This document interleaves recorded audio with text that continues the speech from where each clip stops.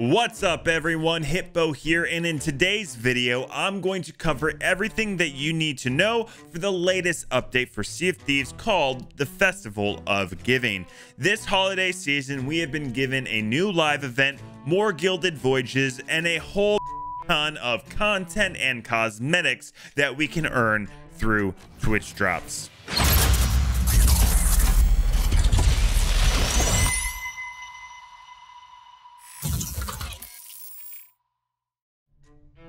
As this special festive period kicks off around the Sea of Thieves, the first thing you want to do when you load into the game is visit Lady Duke, aka Larinna, to collect a special Gilded Voyage gift and celebrate with crews you find on the seas. Along with these Gilded Voyages, there are new voyages leading to stashes to one of my favorite things on the seas, kegs which means you can celebrate this season with a bang. Also, players who log in over the festive period will be given a special note to collect another gift reserved at the Pirate Emporium, so don't forget to head on over to the Emporium and collect the free Frozen Horizon Tankard. A range of new live events will run throughout the festive season. Open up the special events tab to find this new event called the 12 Deeds of Giving. Challenges will unlock each day on the run up to the holidays and provide us with an opportunity to earn some beautiful Eastern Wind cosmetic rewards by completing the various challenges. Upon completion, we will be rewarded with a fancy schmancy new title called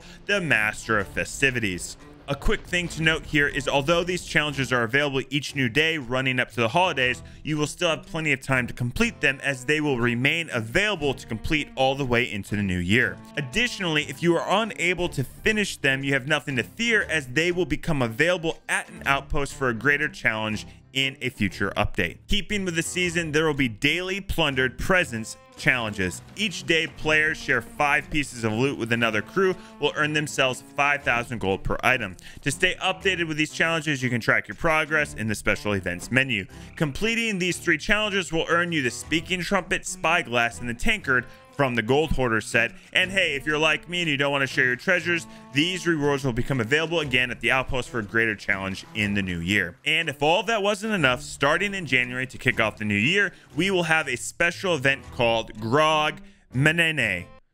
Grog Menanane. Gr you know, never mind. But we'll have a new special event Wreaking havoc in these challenges earns players the Frostbite Cannons, the pleasantly colorful Paradise Garden Cannon Flare, and the Order of Souls Bucket, which is perfect for putting out fires or collecting the souls from dead pirates. Crews unable to snag these rewards will be able to get them later too. You also need to keep your eyes on the horizon as it looks like we will have two gold and glory weekends coming our way. Speaking of exciting things coming our way, this leads me to a special announcement that is our December Twitch drops. Unlike the last few Twitch drops, this time we see a brand spanking new cosmetic set called the Frozen Horizon.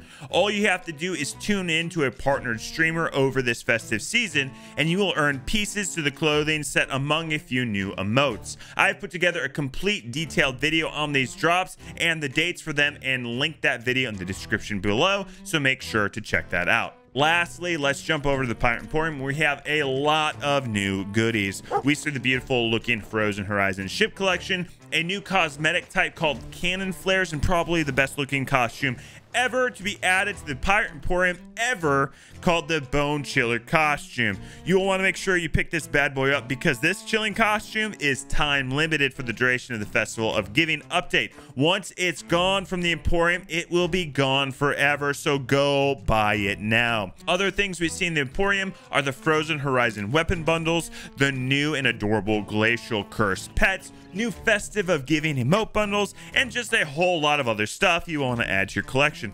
Plus, there is a freebie emote, so don't forget to snag that as well.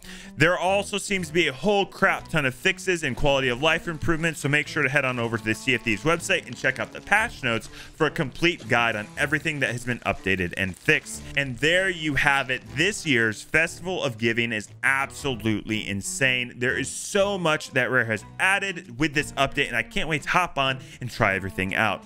And lastly, remember, please, please, please pick up those beautiful Gilded Athena voyages because, well, let's be honest, this is the Festival of Giving and I'm going to need you to give me all of your treasure after I sink you. Thanks for watching. I look forward to seeing you guys on the seas. And if you enjoyed this video, make sure to hit that like button. And if you really enjoyed it, please hit that subscribe button. It would mean a ton to me. I'm trying to get to 100,000 subscribers and I can't do it without you. So if you enjoyed this content, want to see more of it, make sure to hit that sub button. Really appreciate you guys and I will see you again out on the seas.